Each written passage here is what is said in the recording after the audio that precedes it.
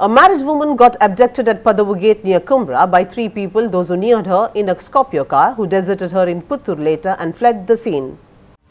The woman reached Puttur with the help of a relative and there was commotion for some time in Sampia police station in Puttur. The woman resident of Karnataka was returning home finishing some work outside. She was abducted by the trio who arrived behind her in a Scorpio car. The abductors reaching Sulia deserted the woman at an isolated place. The abductors stated to have been scared by the car that confronted them and during this time the woman had allegedly found safe escape from the abductors then. She later taking help from her relatives registered case in Sampia police station. ಸ್ಪೀಡಾಗಿ ಬಂದರು ನಾನು side ತಿರುಗಿ ನೋಡಿದಾಗ ಎಳೆದು ಕಾರಿನೊಳಗೆ ಹಾಕಿಬಿಟ್ರು ನಂತರ ಸೀಟಿನ ಕೆಳಗಡೆ ಹೀಗೆ ಅಡಗಿಸಿಟ್ರು ಎಂತ ಮಾ ಹಿಂ- ಹಿಂದಿನಿಂದ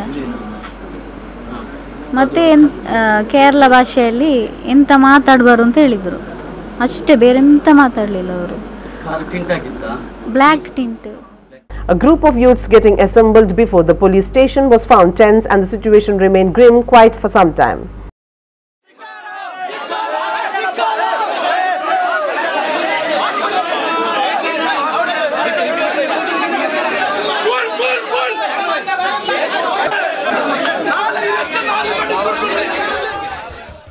Now the tidbits. Pakistan's Balochistan province earthquake death toll rose to nearly 350. Official sources in Quetta, the capital of Balochistan, told that about 350 people were killed by the 7.7 magnitude quake, with the majority of deaths reported from the worst hit Avaran district. National Disaster Management Authority told of 271 deaths and 246 injured. Other officials said 327 bodies were found in Avaran and Kech areas. According to official estimates, over 3 lakh people in six districts were affected by the quake that hit yesterday afternoon. Many do not have access to food, drinking water or shelter and the situation was exacerbated by the hot weather. Balochistan Chief Minister Abdul Malik Baloch has declared an emergency in Avaran and five other districts located near the epicenter. Government has dispatched 1,000 tents, 500 food bags, medicines and 15 ambulances.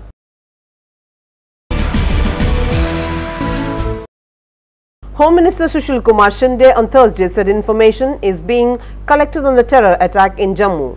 There has been an attack on a police station and an army camp. We are collecting information, the Home Minister told. Separatist guerrillas attacked a police station in Jammu region on Thursday morning, killing six people including four policemen. They then attacked an army camp.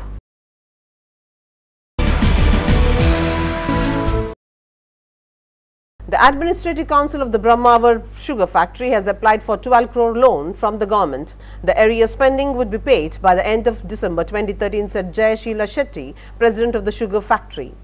To a question asked by the members as to whether the Administrative Council should prolong, the government has not liquidated the factory since the Administrative Council is existing and 110 acres of land of the sugar factory has not been sold out. He said that the factory belonging to the farmers, it would be reinstated availing help from the government.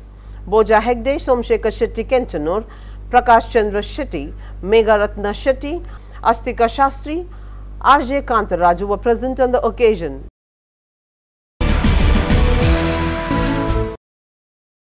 The worker dies falling from a great height and gets killed.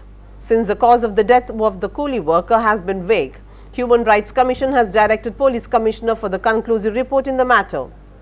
The deceased worker has been learned to be 32 years Vijay, son of Kadya, resident of Kairangala in Polali, who lived in the house of his sister in Gudde Angadi in Puttige Gram Panchayat. The cause of the death of the worker being not so clear, a version states that the worker had slipped off his balance from a great height of 50 feet to the ground when he tried to grip a tree aligned to the building in his attempt for hanging there. Dalit associations in defense of the deceased on the contrary have registered a case of suspected killing in Mudbidri police station. In law of Vijay, the deceased has mentioned in the complaint lodged with the police that it was a planned murder and it needed impartial inquiry. Dalit associations have submitted complaint to police as well as the Human Rights Commission, over which the police commissioner has been directed by the Human Rights Commission for giving a conclusive report over their findings in the matter.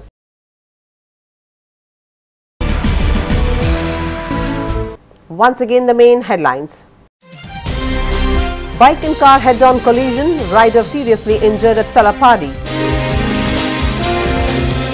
Advocate opens fire in Mudbidri, fights with a student on the road. Someone's closed door gaining Golmal, useless Nalkemar Housing Board quarters. Woman abducted from Kumbra, safe escaped, case filed at Sampia. Pakistan earthquake toll rose to 353 lakh people affected in Avaran. Guerrilla separatist attack on police station, Home Minister collecting Jammu incident. Pending areas of Brahmavar sugar factory will be paid before December, factory president.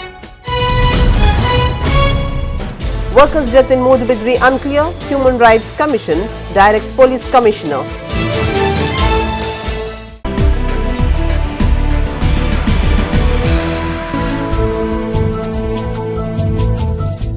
With this, we come to the end of this edition. For more news and updates, keep watching V4 News 24-7 or you may also log on to v4news.com.